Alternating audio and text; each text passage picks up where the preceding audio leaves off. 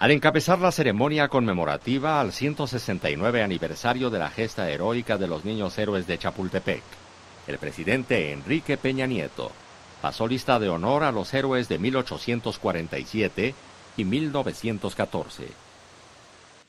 Del heroico Colegio Militar, Teniente Juan de la Barrera. Cadete Juan Escutia. Cadete Agustín Melgar. Cadete Vicente Suárez. Cadete Fernando Montes de Oca.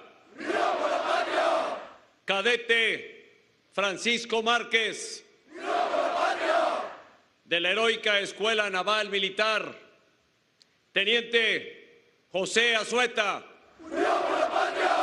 Cadete Virgilio Uribe. Durante el evento, el primer mandatario escuchó el sentir de la juventud militar mexicana.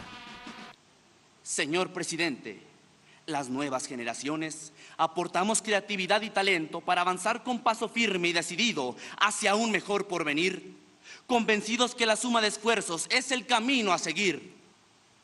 La juventud militar aquí representada nos comprometemos ante usted nuestro comandante supremo, a continuar preparándonos para estar a la altura de las exigencias actuales.